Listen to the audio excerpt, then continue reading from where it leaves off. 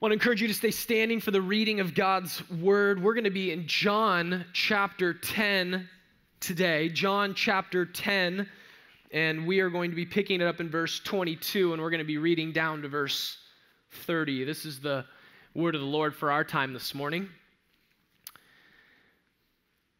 At that time, the feast of dedication took place at Jerusalem. It was winter, and Jesus was walking in the temple in the colonnade of Solomon. So the Jews gathered around him and said to him, How long will you keep us in suspense? If you're the Christ, tell us plainly.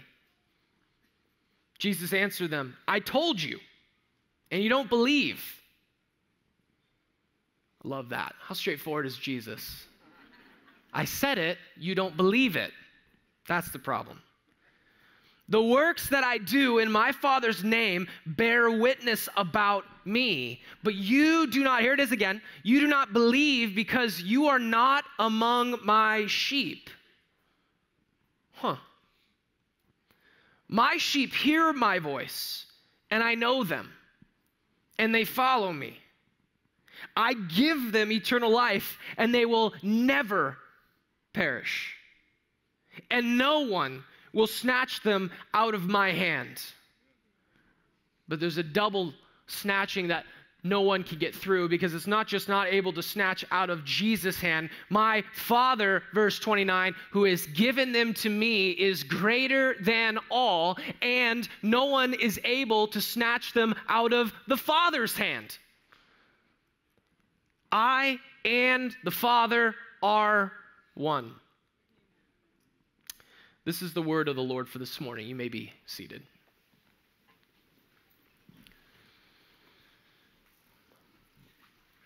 Good morning, church. Good to see you all looking so fine and dapper this uh, Memorial Day weekend.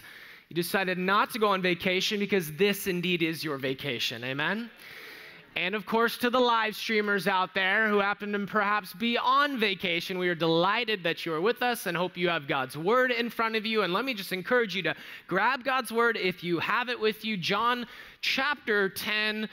Uh, but let's just be honest. Um, we're going to be flipping today. John chapter 10, Romans chapter 8, 1 John chapter 2, 2 Timothy chapter 2, 2 Peter chapter. We're going to be all over the place today. You're going to get a big systematic theology you are welcome. Before I do that, let me introduce myself. My name's Scott. I'm the lead pastor here at Doxa Church. It is a absolute joy to have you with us today. If you're new, I would love to get the opportunity to meet you. I usually hang out by the windows in the lobby out there. Come say hi. If you're wanting to connect, I would love to connect with you. And let me just encourage you, kind of a double setup here. If you're not going to that marriage seminar and you are married, shame on you. Okay? Get to that seminar Dave Harvey's become a dear friend, and what he has to share is going to be critical for you. And so we're trying to get every impediment out of the way. But let me just encourage you get there. Somehow, some way, make it next week. You got plans, try to cancel them. It's worth it to invest in your marriage. I don't care if it's been 35 years in your marriage or four years in your marriage, you need it. And God's providing it for you next weekend, okay? So get there, sign up. That would be fabulous. We're in this series, uh, if you don't know uh, or are new to Doxa, called Now Concerning. It's the language that Paul uses in the second half of First Corinthians to respond to a bunch of questions that the church in Corinth had that Pastor Paul was kind of answering. And I thought, let's do that here uh, in the 21st century. I think that might be fruitful and beneficial to us. And so you guys responded back. We whittled that list down to the nine most pressing questions you have in this day. And we are uh, approaching topic number six today. Six of nine. Can you believe it? We're moving through. Today's message now concerning losing your salvation. Now, concerning losing your salvation. I feel like maybe the most important place to start is what do I mean by salvation? Right? Because that's kind of a churchy word and if you're not you know you haven't grown up in the church salvation can kind of be vague. So let me just be see if i can be crystal clear about uh, salvation. When we talk about losing your salvation can you lose your salvation? We're talking about christians who have turned from their sin put their faith in jesus christ right? You are saved from sin of which we all have sin because we are sinners born in sin and we commit commit sin, every single one of us, and you and I, regardless of what your background is, what your religious affiliation is, or lack thereof, you need to be saved from your sin. You need to be saved from your sin and its effects. You need to be saved by God, from God, through God, to God. That's what you need. That is the most pressing reality in your life today, regardless of what you thought it was walking in here. Okay? And the question is for the truly born again believer in Jesus Christ, can you lose your salvation and ultimately perish in your sin? That's what we're going to talk about today. Now, there is a theological progression to this. I don't know if you're seeing the thread that's kind of weaving its way through the past couple weeks. We did predestination last week, right? And let me just let me just unfold this thread for you if you have a man centered view of predestination, which is the more comfortable view of predestination for many, especially because as Christians, new Christians, we come out of the gate man centered. If you choose to take a man centered approach to predestination, it demands a dismantling of the doctrine of eternal security. So you can choose what game you want to play. If you want to go the route of man getting the final say as to whether or not you are truly regenerated, that you got yourself in, listen, if you are the final say on getting yourself in, then you can most certainly get yourself out. Okay? But the reason that people go that route, the more man centered route, that man has the final say in their salvation, I'm talking about the regeneration aspect of their salvation, is because that's more comfortable than saying God, in His grace, ultimately has the say. However, if you go that comforting route, you don't get the better end of the doctrine of eternal security. And so it's a give and take. It's a plug and play, but praise be to God. We talked about last week salvation belongs to the Lord and it is by grace, and it is in no way dependent upon you. And so we're going to see how a right view of predestination leads to a right view of understanding can you lose your salvation. But I also want to say from my heart, from a pastor's perspective, reading these questions of all the questions of all of the weeks we're doing this, this one was the most heartbreaking to me because the questions read like testimonies. We asked for like a sentence. You guys gave me like a life story. And some of you, you're, you're struggling because you walked away from the Lord and now you're trying to figure yourself out. And am I saved or was I saved? And where am I? And I'm concerned and you're lacking assurance. And there's a part of my pastoral heart that I hope today I can communicate uh, faithfully about assurance.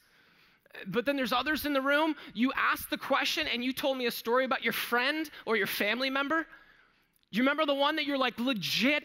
I was there when they gave their life to Christ and they now no longer want anything to do with Jesus Christ. You remember that? I had people by the droves writing in and saying that, telling us, testifying to that on the questions. And so I just recognize that today there needs to be a pastoral emphasis, and I'm, pray, I'm praying to God that He will give me that today because this should be a doctrine of comfort to your hearts and a doctrine of confidence that we can trust the Lord for those who are still outstanding in their having walked away from the Lord. So, that being said, let me frame it and, um, and then we'll get into the outline, okay? Here are some of the questions that came in. What happens to those who commit to Christ and then walk away? We're seeing a lot of that these days, aren't we? What if Christians stop believing? They just stop. You had someone in your life like that, just stopped believing? How do you know if you were saved or not saved if you stepped away from Jesus? I'm imagining that means for a time. Can a person who is truly saved lose their salvation? That's the question, isn't it? That's the overarching question. Can a person who is truly saved, born again by the Spirit of God, truly regenerated, can they lose their salvation? This message, some of these messages are complex, right? There's a lot of pieces. Uh, the outline and the big idea for today's message is the answer to the question crystal, crystal clear. Okay? So if you're like, he was saying that thing and about the, and I, what, what, what was it? Just write down the big idea, point one and point two, and you'll have everything you need. Okay? So, can a person who is truly saved lose their salvation? That's the essence of today. Here's the big idea. Ready? You would if you could, but you can't, so you won't.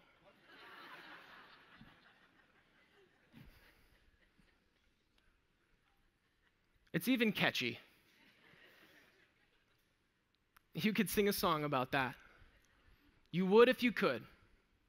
That's probably an important part to understand. You would if you could. We would all succeed at losing it if we could, but you can't, so you won't. Okay? How joyful is that? You're like, left to me, you would if you could, but you can't, so you won't. And here's the simplicity of the outline, okay? Here is the simplicity of the outline. If you lose it, you never had it. Number two, if you have it, you'll never lose it. Let's pray.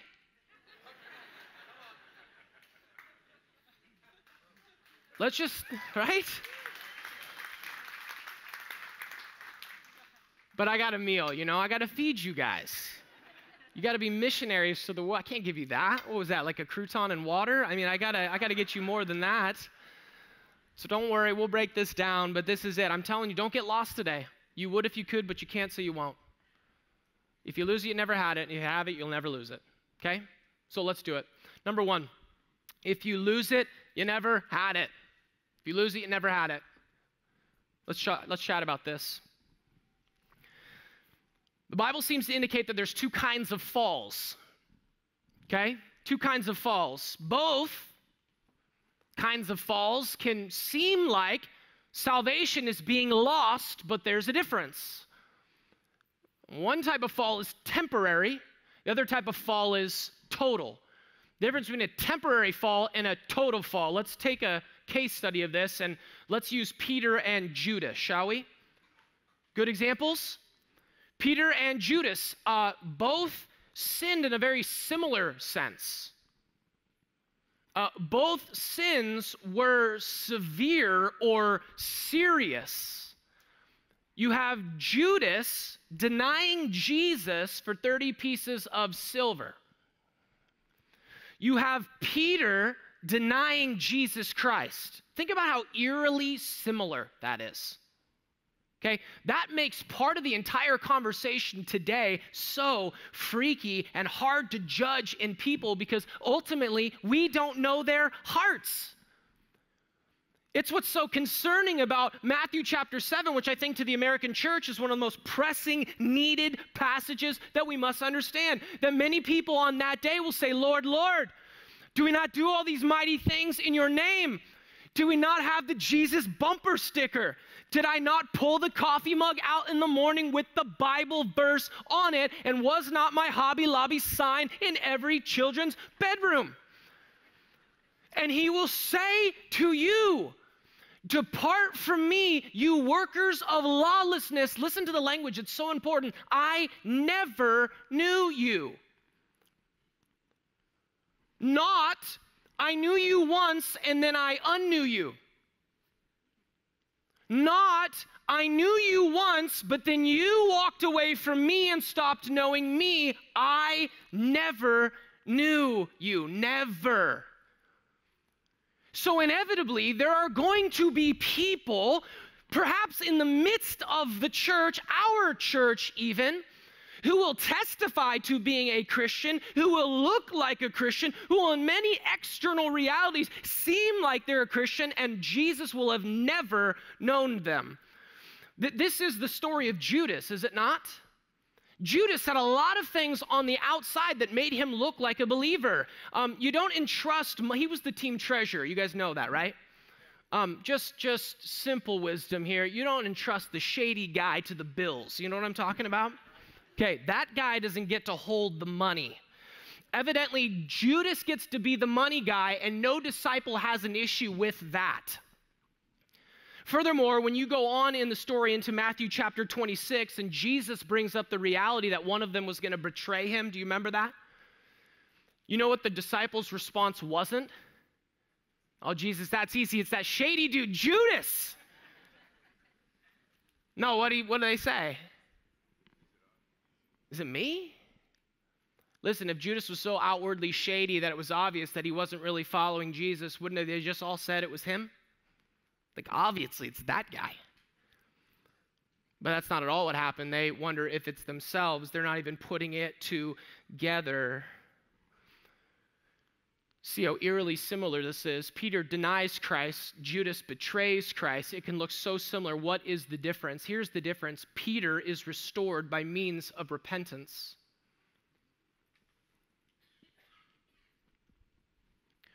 Luke 22, Jesus prays for Peter in verse 32, and he prays that his faith will not fail, he says.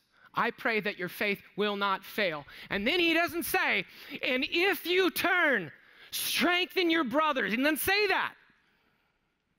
He says, and when you turn, strengthen your brothers. When, not if. Jesus was praying for Peter to persevere. That's a lot of peas.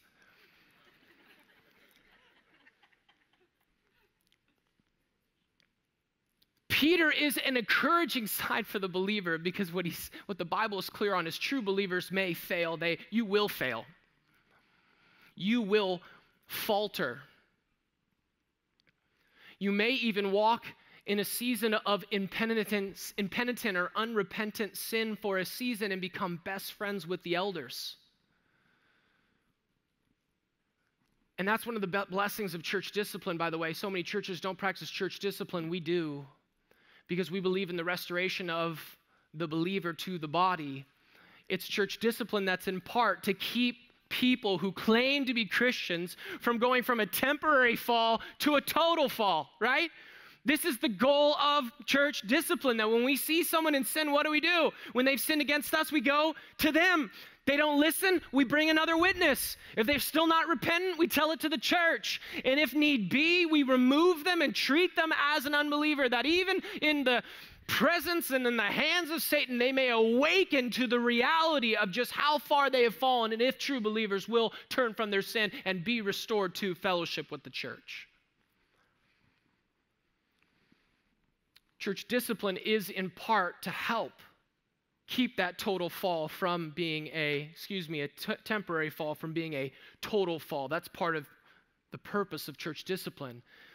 And when believers are pressed about their sin, it may be a season that they don't respond, but eventually they respond, they repent, and they are restored. Unbelievers, on the other hand, don't showing that whatever they had before was never actually genuine. That's what I'm going for. Never actually genuine to begin with. That's the hard part, that's the offensive part.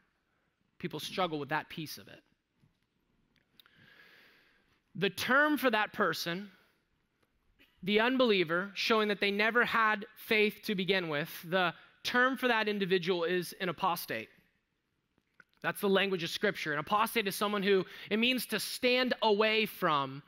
You reach a position and then you abandon that position decisively and irreversibly.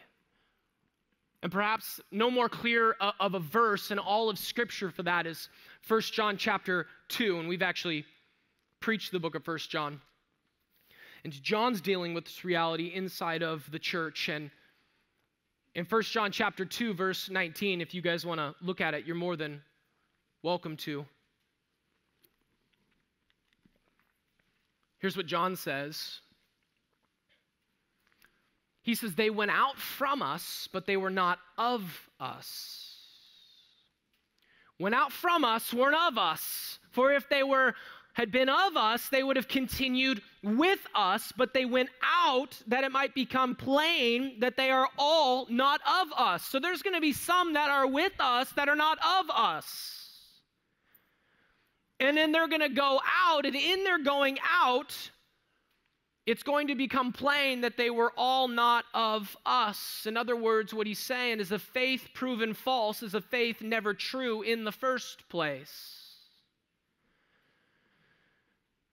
Now, this is where it hits really close to home because um, deconstructionism is in these days, is it not? Are you following this? Do you understand the word when I'm saying it? Give me a nod if you know what I'm saying by deconstructionism. Not enough nods, so I'm going to keep going to explain it. I don't want you to miss it. It's um, people that are taking the Christian faith and deconstructing the Christian faith, their beliefs about the Christian faith, and ultimately detaching themselves from the Christian faith. That's really what it is. So there's been this slew of famous people. I don't know if you guys heard about this. Was it two weeks ago that um, we just introduced our kids recently to DC Talk? What would people do if they thought that I was a Jesus? You remember that one? Just like that, right? Just like that. And uh, and Kevin Max, one of the singers, uh, just wanted everyone to know on social media that he had become, quote, an ex evangelical. It's actually trending on Twitter to be an ex evangelical. Let me just be really, really clear even about that term. If you persist in the state of being an ex evangelical, you are a nevangelical. I'm serious. I'm dead serious. The people who think they're leaving the faith, they were never in the faith to begin with. Um, it's sad. It's not all the same situation. John Piper's own son has come out on TikTok and developed a following of like a million people, basically shredding the faith that he grew up with, that I know was sound from his own home.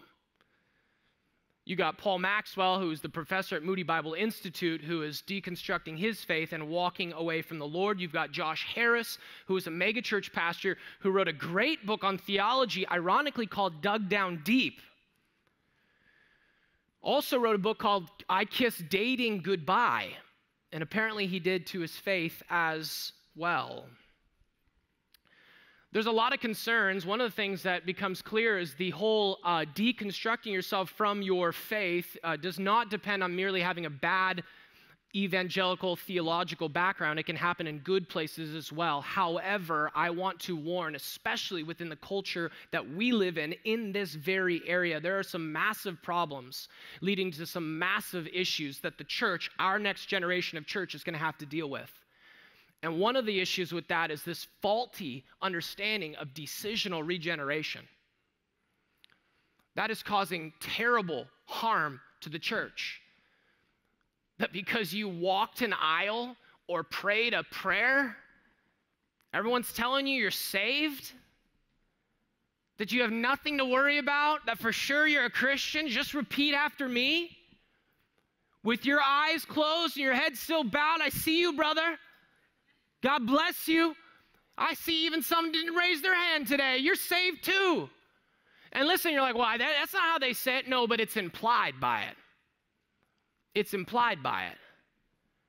That is causing problems all over the place. It's causing all kinds of different issues. I'll give you some examples of some of the byproducts of this decisional regeneration. You raise your hand and you're saved. You got multi conversion man. They're like superheroes. Multi conversion man. Okay, you know what I'm talking about? He's raised his hand 600 times to the gospel. Okay? It's padding the stats at every local church that does that. Like a bazillion people got saved, and Kenny's like, 600 of those are me. You count every one of them. He's there every week raising his hand. He has no idea what makes him Christian, but just in case he lost it from Sunday to Sunday, he'll raise his hand again. And then you have the people who are cornered by some zealous Christian that was like, You're going to hell. I can help you really, really quick. Get this all over with. Flames forever. Or just say seven words after me.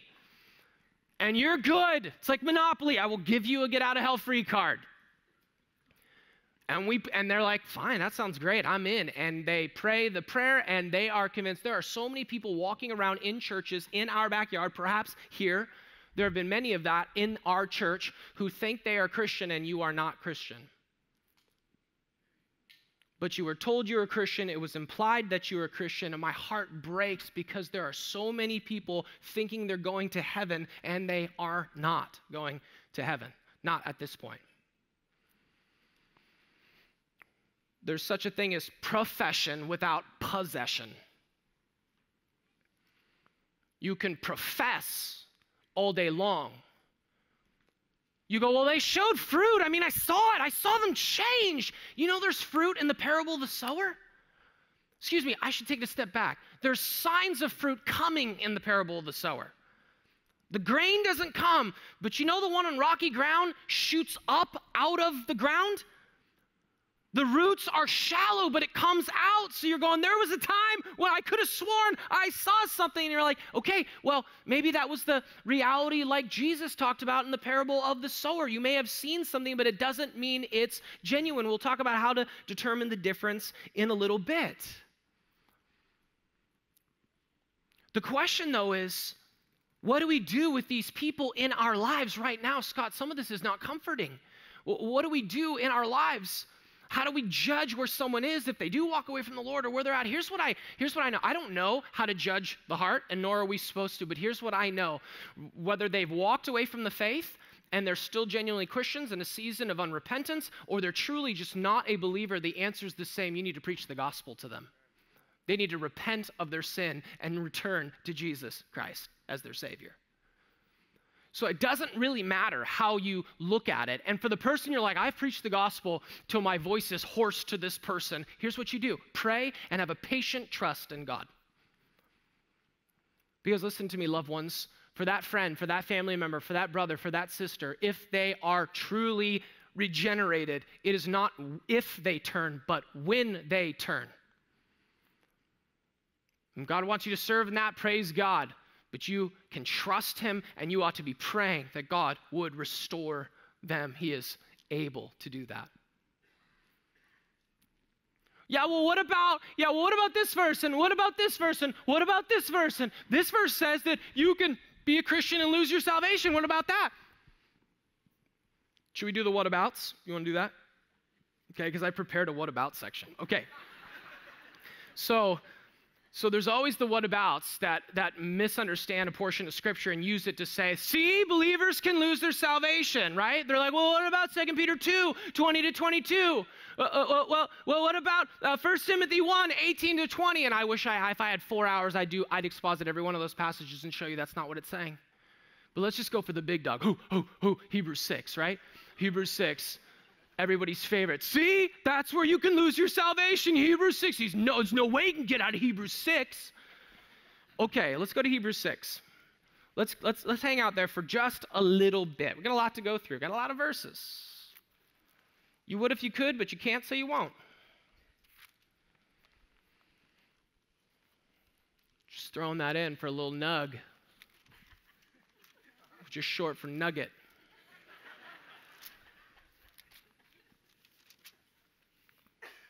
Come on, get with the times, people.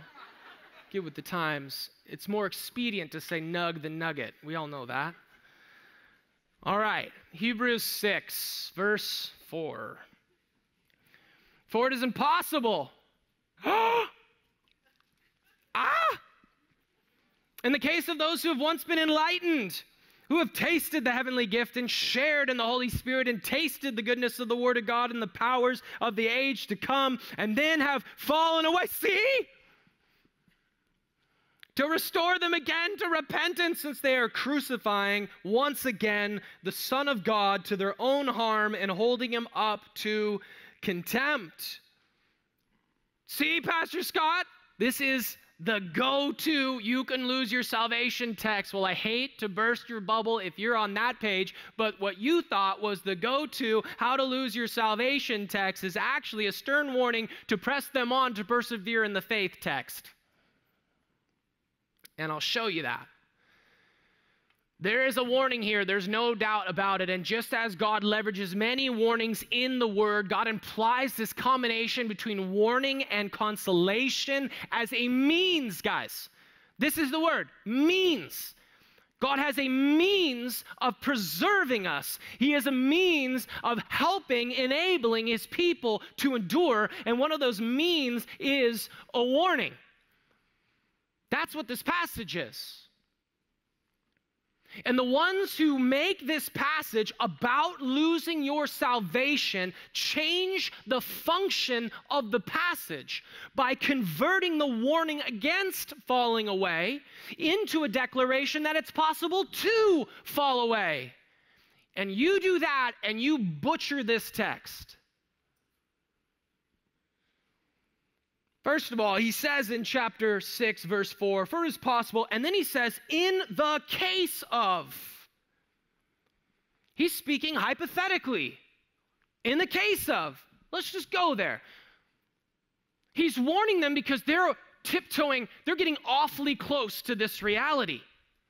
They're struggling with this Judaizing heresy to leave the gospel and go back to the old covenant to be bound by the works of the law instead of the freedom that's made possible through faith alone in Jesus Christ. And so he says, in the case of the one who is enlightened and tasted and shared in and then turned back with full knowledge about Jesus Christ, he's saying you would be repudiating the finished work of Jesus, thus, in a sense, crucifying him all over again.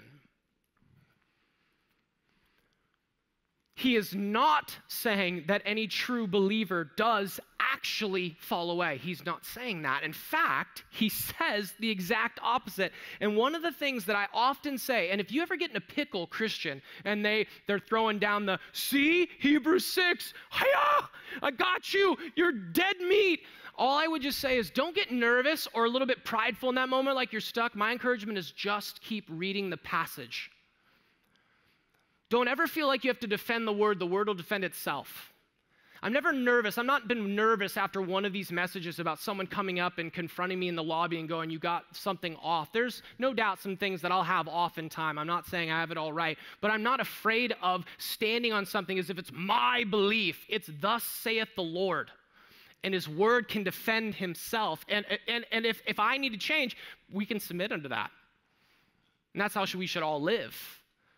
So I'm not worried because I'm trying to, as plainly as possible, seek to live under the word of the Lord. If you just keep reading the passage, you will see the very point of this. Look at Hebrews 6, verse 9. So he continues on, gives you the sense and the point of why he's given this warning. He says, in spite of all those things, that it's in the case of those who have once been enlightened, have shared in this, and then fallen away to restore them again to repentance, like hint, hint, warn, because you would be crucifying once again the Son of God to their own harm. Listen to this, verse 9. Though we speak in this way, yet in your case, beloved, we feel sure of what?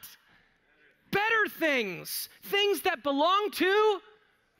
Oh! Oh! Biblical mic drop.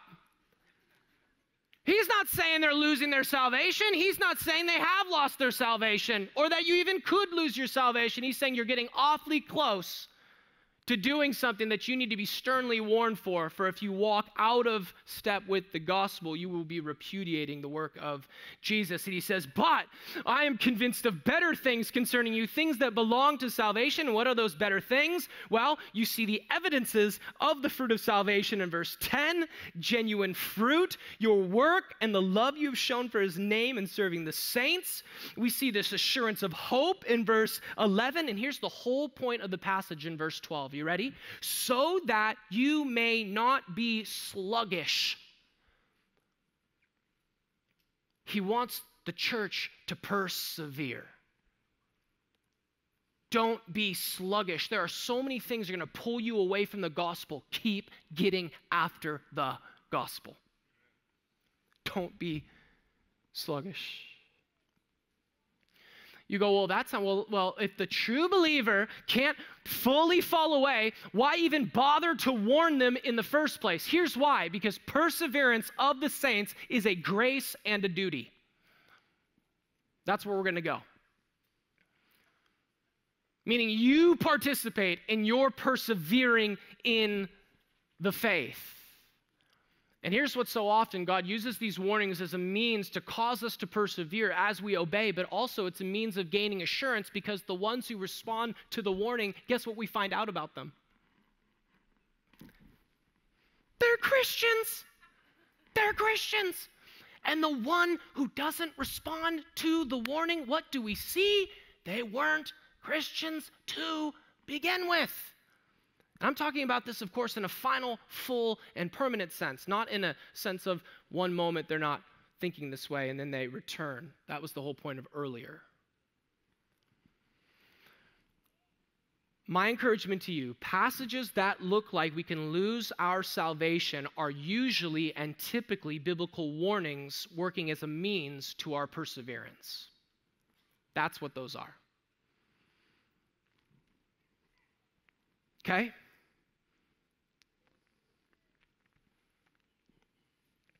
If you lose it, you never had it. And I mean that finally and completely. I'm not talking about temporarily lose it. Okay? Oh, am I clear on that? Because I, I, might be preaching with a little bit of an assumption there, and I don't want you to hear me saying lose it, and you're in a state right now with a brother, sister, family member, friend who has lost it. I'm not talking about you don't know where they are right now. And I told you the same thing's true. We pray, we're patient, and we preach repentance and faith in the gospel of Jesus Christ, right? But I'm talking about in that final full sense, if you lose it, you never had it. Now, let's flip it and talk about if you have it, you'll never lose it. Number two, okay? If you have it, you'll never lose it.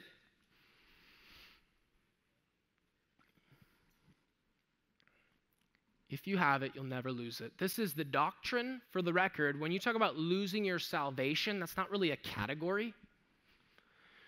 It's a question that's come up because of some distinctions and differences in doctrine. But um, the whole idea of losing your salvation falls under the category of the doctrine of eternal security. That's the bigger category. So we're going to nerd out a little bit and talk about the doctrine of eternal security from the two perspectives that we should talk about it from. One is preservation of the saints, and the other is the perseverance of the saints. Oh, both those words are so important. Preservation, that sound like something you do? Preservation of the saints versus perseverance of the saints. Both aspects are important. Preservation is what God does. And perseverance is what we do. I'm going to show you preservation. I'm going to show you perseverance. This is what gets confusing in this whole lose your salvation thing. And then we're just going to work it out. How do they work out together? Okay? That's where we're going. So, preservation, this is what God does. You want to jot this down as a subpoint. Preservation, God will preserve his own. He will. And all God's people said, Ah, the best. We should walk with a limpy, humble swagger of confidence in the Lord's grace. So, John 10, there's a lot of places we could go. John 10, we read it earlier. God will preserve his own. I love John 10. Jesus is so clear. They're speaking clearly. Jesus is answering clearly. My sheep, verse 27, hear my voice, and I know them, and they follow me.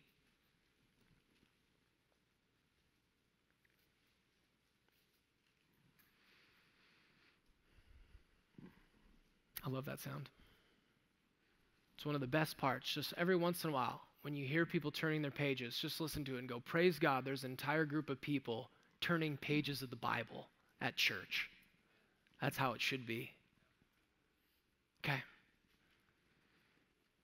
Come on, guys. Some of you still haven't found it? I'm just kidding. just kidding. Just kidding. We judge a little bit here, okay? A little bit. Uh, okay, verse 28 I give them eternal life. Yeah, baby. John 3:36 already said whoever believes in the Son has eternal life. He gives eternal life, and they will, I love it, it's a double down. I give eternal life. Oh, and just in case you didn't understand what that meant, they will never perish.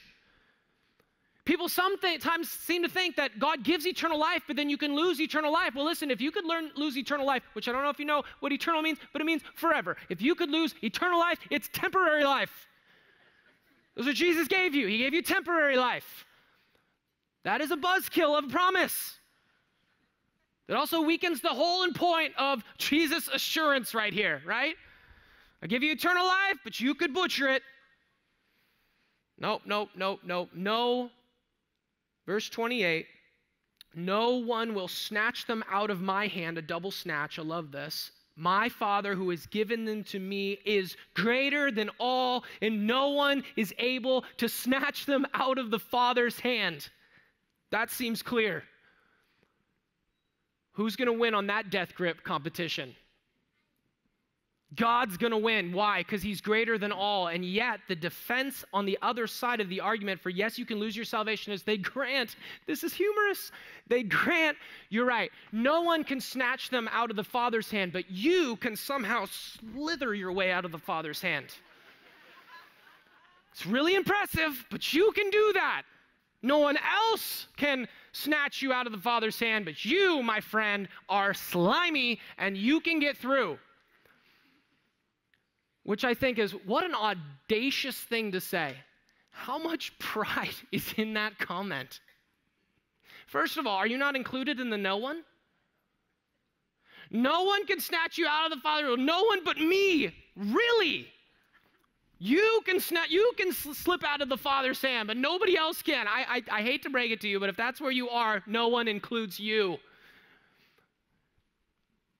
Not to match, mention the function of the passage falls woefully short if the possibility remained that we could remove ourselves from Christ's hand. That would hardly give this passage the assurance Jesus intended. Let me just read it to you. This would be awesome.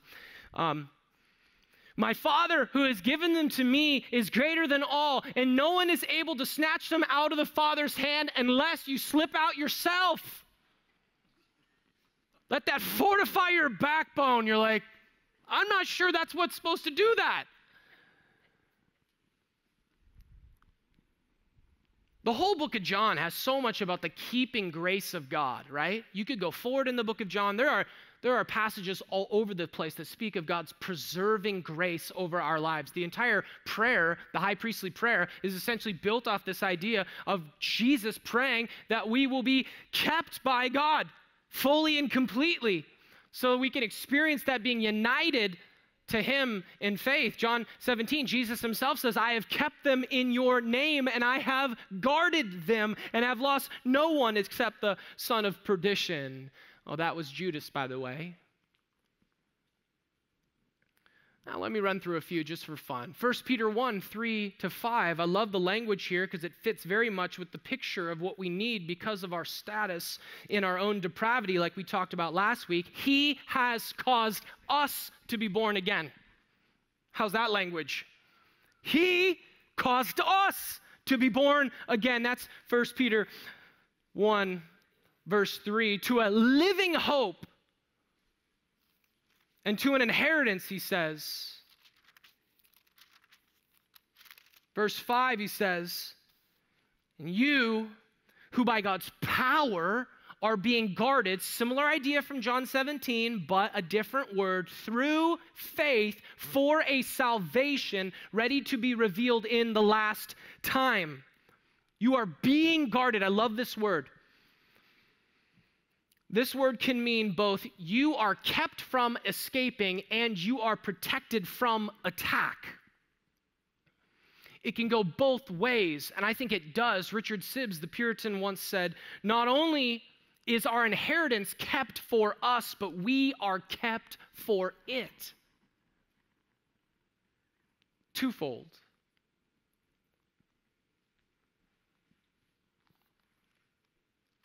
I'm going to end in Romans 8 here. I'm, I'm going to go there in a second. I'm going to rattle off some verses. It's one of our favorite verses. It's definitely coffee cup worthy. Uh, Philippians 1 6. Does everyone know it? And I'm confident of this that what? He who began a good work in you will bring it to completion at the day of Christ Jesus. Everyone cool with that one? That one okay? Uh, what about 1 Corinthians chapter 1, verse 8? Do you remember when we were in it? We don't need to go there. You have it memorized, right? From, the, from our year and a half in the book? No? It says that God will sustain you to the end. That sounds like preservation. Uh, we read a section of Ephesians 1 all the way to verse 14 of chapter 1 last week, and we said that you were sealed with the Holy Spirit, sealed for the day of redemption, he who is the guarantee of our inheritance until we acquire possession of it. He's the down payment, he's the earnest deposit. He is the assurance that we will acquire possession of that inheritance in the future to the praise of his glorious grace. How much are we praising the Holy Spirit if he might lose some of us because we slither? It's all about Him. He's sustaining us, He's preserving us. It should change the way we worship. You won't get there, He'll get you there. Not in your own strength. Romans 8. Whew. Has it really been 43? It feels like 23 minutes. I guess I got to speed this up a little bit. We've been going long, it doesn't matter. Here we go. Romans 8, verse 30.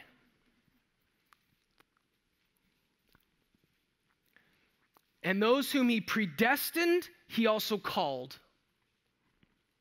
And those whom he called, he also justified. And those whom he justified, he also glorified. If that doesn't light up your soul, I don't know what else will. Breathe, Church of God. Let the Holy Spirit refresh your heart on what just was said. The justified, those whom he justified, he also glorified, which, by the way, has glorification happened yet? Why is Paul talking about it in the past tense? Because he's so stinking sure about the decrees of God, he speaks about it in the past tense about something that's going to happen in the future. That's how certain it is. If he's predestined you, he'll call you effectual call.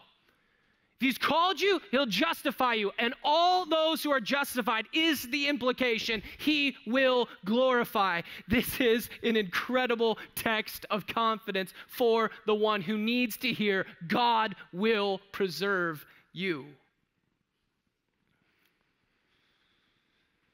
But then there's another aspect, and this is where it gets confusing for people. Perseverance is what we do. God preserves us, but we are to persevere in the faith. How does that work? Let me give you just a few basic understandings here. First of all, true Christians, they do persevere to the end.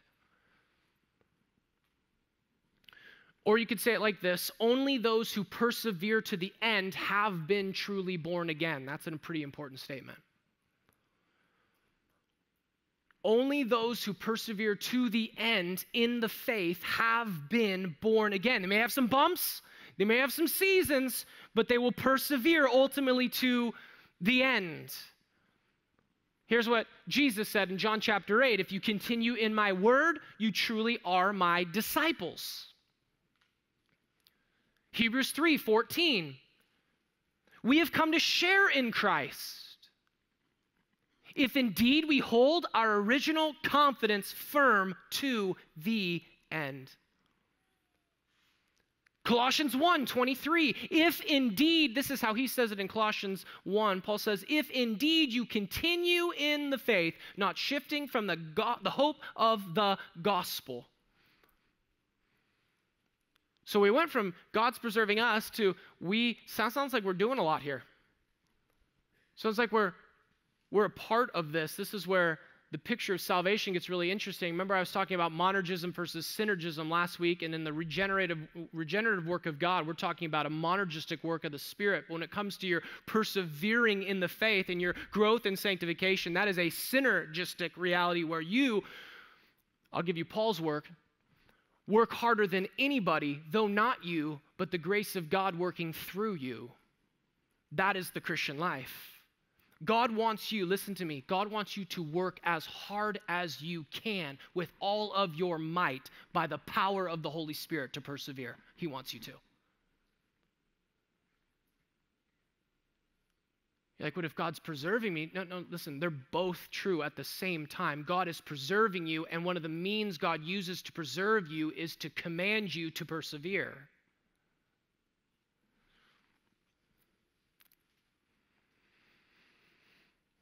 by His grace. You need to work harder than anybody, though not you, but the grace of God working through you. This is a Trinitarian work. God's preserving means for your perseverance is a Trinitarian work. The Father keeping you and preserving you, the Son sustaining you and interceding for you, and the Spirit indwelling and sealing you. Now, if you want to get to where all this comes together like this awesome PBJ, we're going to put it all together right now. Philippians chapter 2, verse 13. This is where we'll close. So you can go there. Philippians chapter 2, 12 and 13. It's like, how does all this work together? Here's how it works together. We'll get some application and we will be done.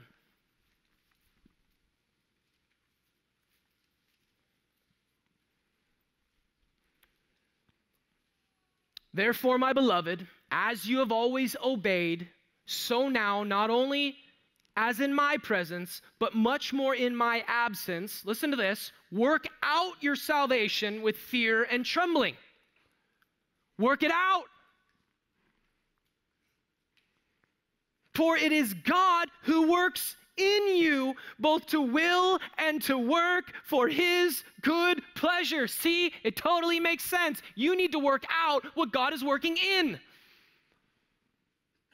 Yeah, huh? That's it.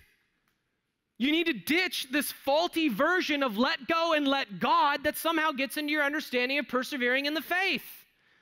Listen, let go and let God is not a terrible saying, but it's one of those that, like, unless you're talking about control you need to give up to the Lord, you need to get after it when it comes to your perseverance. Don't let go and let God. Get after it by the power of the Holy Spirit with everything that you have. The words of 2 Peter 1:10, be all the more diligent. Be diligent about it to confirm your calling and election, for if you practice these things, you will never fall. God's means of preserving us is calling us to practice these things, growing in the faith, continuing in the faith. We work out what God's working in over and over, day after day, and God's preserving us. Yeah, but we're persevering. Yeah, but He's using it as a means to preserve you. Well, what if I have a struggle of the season? I decide to let go of God's hands. You can't get out of His. And the Christian returns, re- repents, and responds again to the word. And so here's what you need to be seeing. You want to see a life of a Christian in you. You need to see someone who's continuing in the faith and bearing fruit. That's what you need to see. You need to see someone who's continuing in the faith and bearing fruit. There's a phrase that comes up sometimes called once saved, always saved and it's not wrong, but man, I think it's, it's woefully inadequate as a motivation to persevere. I think people use that phrase, well, once saved, always saved, as a cop out instead of a fuel for greater godliness. I think it promotes this casual Christianity where somehow we have an entire portion of the body that's too busy for church, that's too busy for God, that's too busy for the gospel, that's too busy, I hadn't had a conversation about Jesus with anyone in like eons. But hey, once saved, always saved. The, the doctrine of eternal security is going to press you on that and say, no, you need to continue in the faith. How do you continue? Continue by consuming Christ through his word and consume the word of God. You continue by consumption, conversation, contrition, and commands. You continue by consuming Jesus. You continue by conversation with God. You continue by contrition or repentance over your sins. And you continue by obeying God's commands.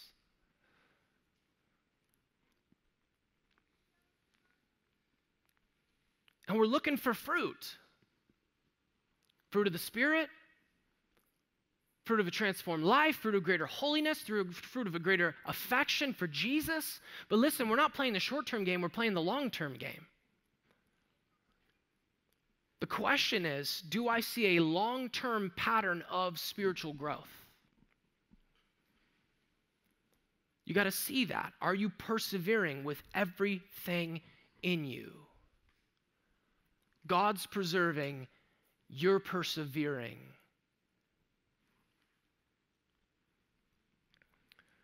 So, can you lose your salvation? No. Needs to be said once. No. It's been explained, but it needs to be said. No, you can't. And maybe I'll just leave us with the words of Jude 24 and 25.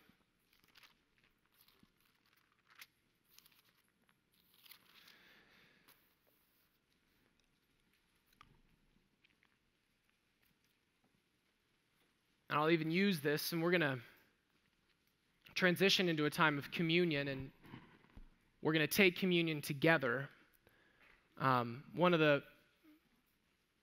words that I got in my study this week was from John Flavel, who's a Puritan, and he asked this question Did God finish his work for us? Did God finish his work for us? Answer then he will also finish his work in us. Did he finish his work for us? Answer It is finished, so yes. Then we can have confidence, loved ones, that he'll finish his work in us. And so we're going to come to the table to be reminded of the fact that he finished his work for us. And so as you come to the table today, you're reminded of the fact that he's going to finish his work, tell me, in you. We're going to remember the body of Jesus was nailed to a cross. We're going to remember his blood that was shed for our sins. So that at the name of Jesus, in this declaration of his person and work, living a life we didn't live, dying a death we should have died, and rising for our salvation, physically, bodily, he extended the invitation that all who would trust in him by faith, trust in Jesus Christ alone, would be forgiven of their sins, would be assured of eternal life, would be reconciled to God in right relationship with him. And so we're going to celebrate that. And so what I'm going to do is I'm going to read Jude 24 and 25 over us as kind of our transition. And then what I want you to do is come and get the elements, grab your bread, grab your cup, it's up here, and then sit down and we're going to take communion together. But let this be the word as we come to the table, reminding ourselves of Jesus' finished work for us, that he will finish the work in us. Here's what Jude says Now, to him who is able to keep you from stumbling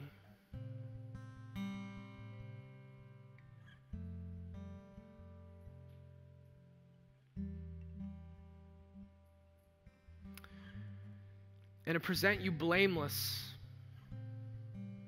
before the presence of God, before the presence of His glory with great joy. To the only God, our Savior, through Jesus Christ, our Lord, be glory, and majesty, dominion, and authority before all time, now and forever. Amen. Come and take when you're ready. Ben, Pastor Ben will lead us.